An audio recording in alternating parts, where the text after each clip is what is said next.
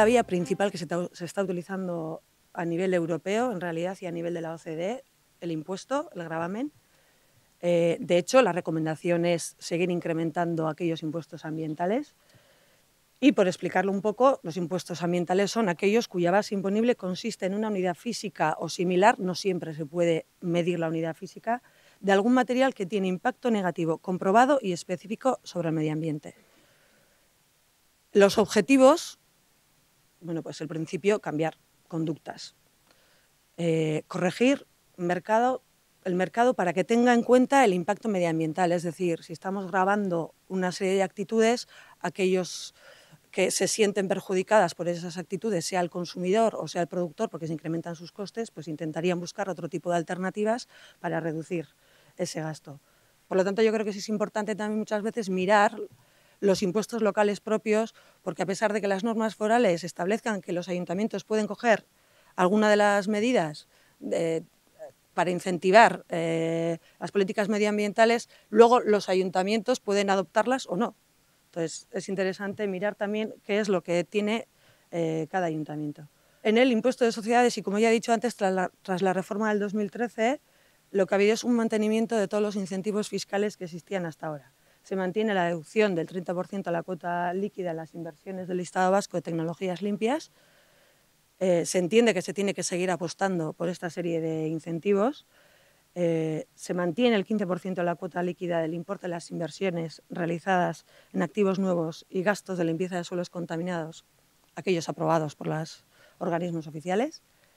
La amortización libre del inmovilizado material nuevo a efectos a reducción y corrección del impacto contaminante y el gasto deducible de las cantidades provisionadas para las actuaciones en planes eh, formulados por el contribuyente, en planes formulados y aceptados.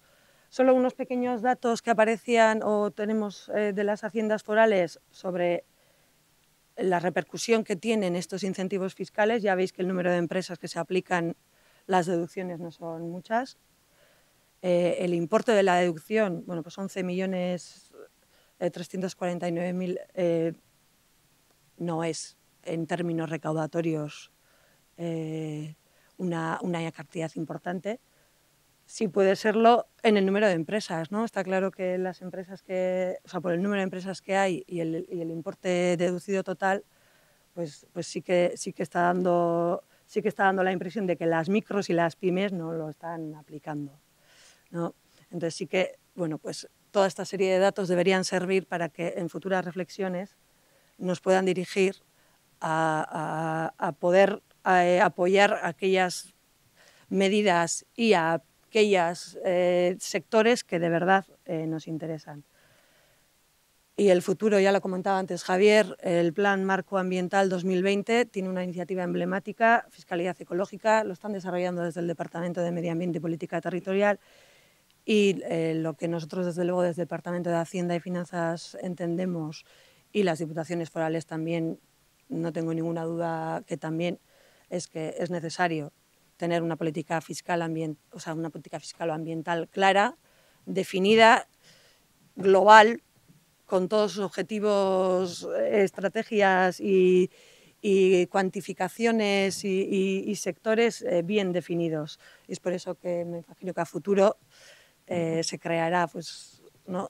esas, esas sinergias entre distintos departamentos para, para conseguir que, que, de verdad en el 2020 podamos tener más que una serie de medidas, eh, una política ambiental pues, fiscal pues, más integrada. Bueno, pues como antecedentes, estamos hablando de que en el 2004 en Euskadi fuimos capaces de poner en marcha un instrumento fiscal que, como se ha indicado antes, eh, permite la deducción del 30% por la inversión en unos equipos que tienen un comportamiento ambiental superior a la media, a los eh, equipos, eh, las tecnologías convencionales utilizadas en ese sector. En estos momentos en, Europa hay cuatro instrumentos similares, el nuestro, el de Holanda, en Bélgica y en Inglaterra, aunque hemos encontrado algunos otros instrumentos que también favorecen las inversiones en, en equipos y en tecnologías verdes. El objetivo del listado es promover eh, la modernización tecnológica de nuestro tejido industrial, mejorar la eficiencia de todos los eh, procesos industriales y, eh, por lo tanto, mejorar la coeficiencia de nuestras empresas. Por lo tanto, el listado promueve equipos que tengan una penetración aún baja en los sectores industriales para las que están disponibles. El listado incluye 84 tecnologías eh, que están divididas en, esos eh, dirigidas a, mejorar esos impactos ambientales. Y como decía, son tecnologías que están disponibles en el mercado en estos momentos y que tienen un eh, potencial de implantación amplio. De los pocos datos de los que disponíamos, lo que sí conocemos es que en el ecobarómetro industrial del 2011 ya las empresas nos decían que aproximadamente el 80% del total de las industrias vascas no conocían el instrumento, eh, ni las grandes ni las pequeñas. Cuando vamos ya sectorizando, aquellas empresas que tienen una normativa ambiental importante, como las empresas IPPC, o aquellas organizaciones que tienen sistemas de gestión ambiental, pues el grado de conocimiento del listado en este tipo de empresas aumentaba. Aumentaba, aunque tampoco había el, número crecía hasta el 80%. Aproximadamente el 30-40% de las empresas sometidas a legislación ambiental o que disponen de un sistema de gestión ambiental conocían el instrumento. En cuanto a los sectores, los sectores que más, están, que más estaban utilizando el instrumento, por supuesto, son los sectores metálicos, como os decía antes. país eminentemente metal. Está claro que el conocimiento y utilización del listado por parte de las pymes y las micropymes es muy, muy pequeño. Eh, con los datos que nos han enseñado desde Hacienda, parece claro que son las grandes empresas las que están utilizando el instrumento y, sin embargo, el público objetivo de este instrumento son las pequeñas. Eh, tenemos que mejorar mucho en el, conocimiento que tienen las empresas de este, de este instrumento, pero no solo las empresas, eh, las empresas, los asesores fiscales, la parte financiera de las empresas, los de medio ambiente, los gerentes, los de producción, etc. Hemos realizado una búsqueda a nivel internacional de instrumentos, tanto fiscales como no fiscales, de apoyo a la utilización de tecnologías limpias. De cada uno de estos instrumentos, lo que hemos hecho ha sido analizar el tipo de instrumento, cuál es el alcance y los costes elegibles. La metodología de evaluación, actualización de tecnologías y participación de los agentes, los procesos de evaluación de tecnologías y cuáles son los recursos eh, disponibles en cada uno de estos sistemas. Hemos encontrado varios sistemas, los cuatro que hemos comentado ya son los más similares al listado los tres, los cuatro son los más similares al listado vasco de tecnologías limpias. Estamos hablando del MIA IVA 1000 que se está utilizando en estos momentos en Holanda, el sistema Ecology Premi de Flandes, eh, Flandes no tiene eh, la capacidad fiscal que tenemos nosotros y entonces eh, este no es un instrumento fiscal, es un instrumento de subvenciones. El listado de tecnologías energéticas que se está utilizando en el Reino Unido por el Carbon Trust y el listado de tecnologías de agua que también se está utilizando en el Reino Unido. Además, hemos encontrado otros instrumentos, como os digo, que promocionan la utilización de tecnologías limpias o de activos tecnológicos en Alemania, en Suecia, en Dinamarca, etc. Y además, incentivos de, incentivos de apoyo a las tecnologías, sobre todo que favorecen conexiones entre los agentes y financiación. En relación con, el tipo de instrumentos, eh, tenemos instrumentos económicos, instrumentos de información e instrumentos que favorecen las relaciones. ¿Cuáles son los próximos pasos que, proponemos? Como os decía, esta jornada queremos que sea un el pistoletazo de salida para la participación conjunta y la mejora del propio instrumento. Bueno, pues los, próximos pasos que tenemos puestos en nuestra agenda es, eh, a muy corto plazo, colaborar con multiplicadores para difundir y promover el, listado de, las tecnologías y los equipos que tenemos en estos momentos en marcha y los que vamos a actualizar. ¿vale? Eh, pretendemos, vamos a tener la, reunión del comité técnico del equipo eh, del listado eh, hacia mediados de diciembre. En esa reunión lo que pretendemos es aprobar los nuevos equipos a incorporar en el listado y, por lo tanto, mm, intentaremos que para el primer trimestre del año que viene se pueda aprobar la nueva orden. Entonces, lo primero que nuestro, nuestro, primer trabajo va a ser eh, difundir y, promover el conocimiento del listado por parte de todos los agentes.